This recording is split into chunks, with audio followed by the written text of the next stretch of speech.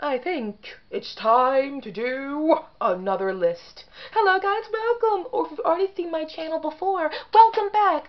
I am the Philadelphia Whovian, and with this one, we're going to be doing another ranking of classic Doctor Who writers when it comes to my series of videos devoted to the ranking of classic Doctor Who writers, script writers, etc. and so forth, of this beautiful, iconic show that a lot of us know and love, Doctor Who. Now, when it came to the classic writers that I'm doing in this ranking, these are writers who, my God, contributed so much to the show, and without them, I just feel like New Who would have no leg to stand on. And before I did a video on Robert Holmes, then I did one on Malcolm Hulke, and now I'm going to do one on Terrance Dicks. Now, Ter oh, whenever I say Terrance Dicks, I, I totally don't say the last name Dicks in a good way. It just, it always comes across as being obscene, doesn't it? I'll get better about that one day. Now back to the video. Okay, so, with Terrance Dicks, he is mostly known as a script editor from Classic Who. That's what he's mostly known for, but he definitely did six really monumental stories for Classic Doctor Who. And guys, letting you know right now, right now, if I missed a story of the six stories that I saw, like if it turns out there was another story he wrote I completely forgot about, let me know in the comment section. Please let me know. I'll do a re-ranking. When I say missed stories, I mean stories that were in the TV show, not like in a novelization or not like, you know, a short that, of course, I didn't, I didn't see somewhere. I'm talking about actual within the context of the show itself. That's what I mean.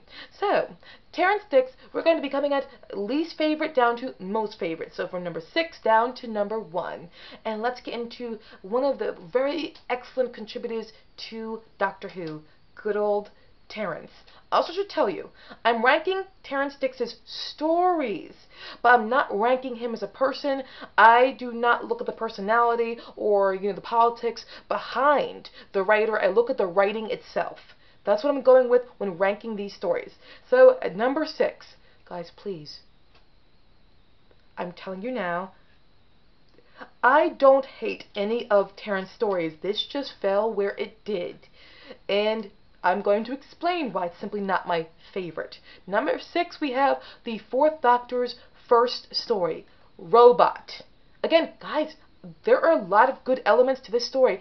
Tom Baker is great as the Doctor from the very beginning.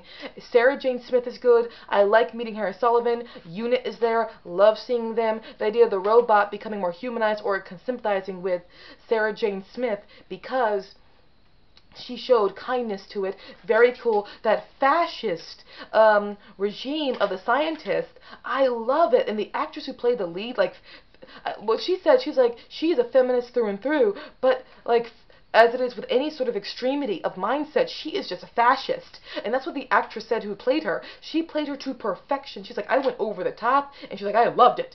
And she did a very good job in the way she went over the top. Very good. It just simply is not going to ever stand out to me as my favorite story of Terrance's or ever the Fourth Doctor's.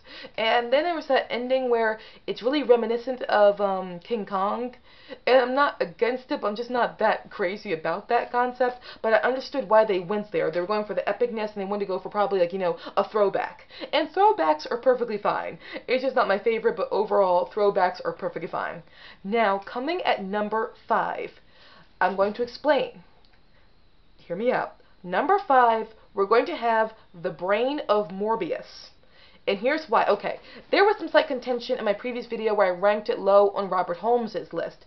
Because Terrance Dicks wrote it, then Robert Holmes rewrote it and I I did not know where it fell because I did not know who wrote what, and I knew Terrance was not necessarily happy about this. Um, but in speaking with people here on YouTube, well, yes, of course there was some slight, you know, mis, you know, communication problems. Terrance was unavailable to be, you know, reached because he was on holiday, and so Robert did rewrites, and but eventually Terrance grew to accept these rewrites. So it helped me have a kinder reflection on the brain of Morbius.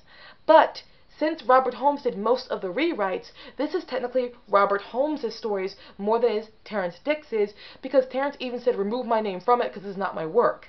So now I know that where it falls, I know it belongs more to Robert than it does to Terrance.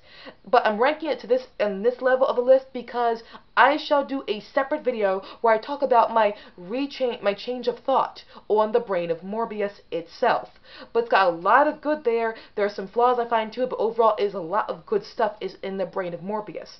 I will talk to that on its own video where I give credit credit sorry, credit to where credit is in fact due. But that belongs more to Robert now than it does to Terry. And I admit, yes, see, Miss Me, the Philadelphia Whovian, admit that, hey, sometimes in your lack of knowledge about something, you can be wrong. That I might not have been fully objective or correct when judging the brain of Morbius initially. But I'll separate that into a video on it later. It'll take a while to get to that video, because I got a lot of videos to do. Whew, sorry. So, now we have, as number four, we have The Five Doctors. I freaking love The Five Doctors, okay? I know it gets some flack for being pure fan service. I'm fine with the fan service. That's why I'm watching it for the fan service. I am one of those people who I love fan service as long as it's done well. I do not get sick of fan service as long as it's done well. It's done well here. I know some people have a problem with the doctors being separated for so long. I am fine with that. It gave a contrast to the three doctors, where the doctors were working together very often, and even to the two doctors later on. But this one, where we've got with the five doctors, they're separated, it gives a different element and different idea. I thought a lot of attention was voted to them very well, and their companions, would, they were done really well too. And also, the villain, very well realized. The Dark Zone, or whatever it was called, very well realized. How they all got kidnapped, very well realized and put into the Dark Zone, or whatever the zone is called. Again, very good. The Master, he's brought in this too. And you got the Cybermen who are in there as well. They're easy to kill, but they're cool. They're in there. And also, with that one robot creature, I can't remember what he was called, but who had those spears that would just shoot and kill the Cybermen really quickly. What a good robot realization. Or the way it was realized was very good. I love the Five Doctors. I'm not ashamed to admit it. It's a very good story if you want to be purely objective about it. Now we have number three a story of that people are probably like, how dare you rank this so high? I rank it high because it is actually a very good story if you choose to look at it in a different way or you choose to look at it more objectively, like lean back and give it a chance. And that is from the Fourth Doctor's last season, State of Decay.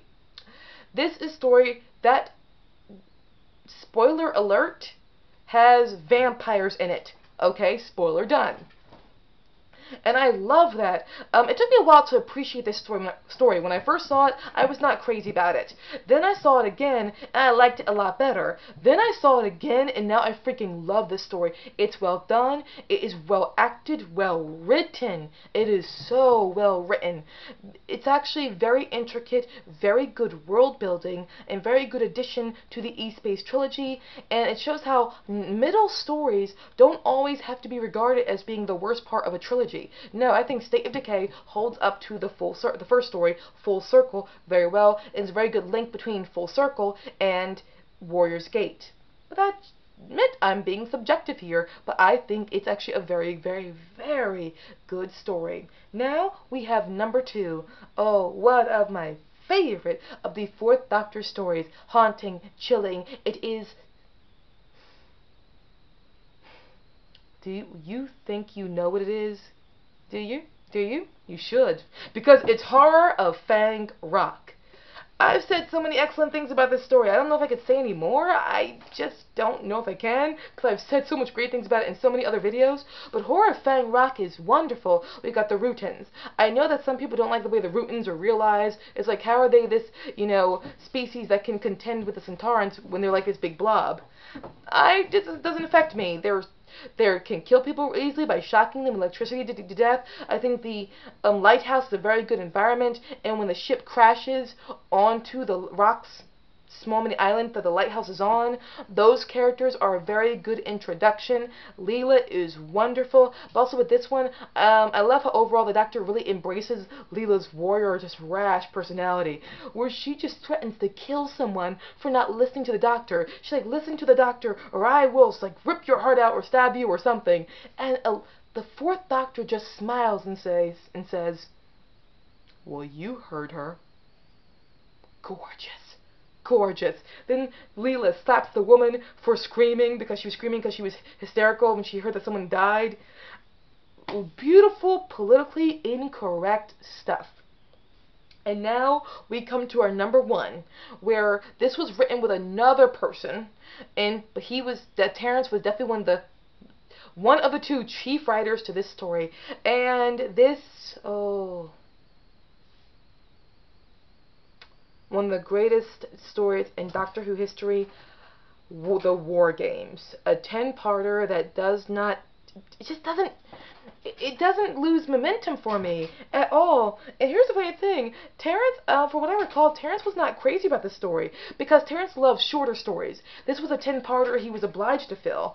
Um, him and Malcolm Hulke. Malcolm Hulke was the other person who wrote the War Games, and Malcolm Hulke is very good at drawing a long story out and making helping it still be well paced.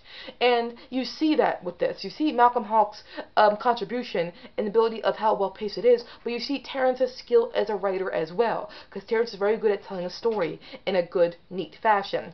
And Terrance, he's like, his chief um, belief about this story, it's way too long. He's not too crazy about the story, but I beg to disagree.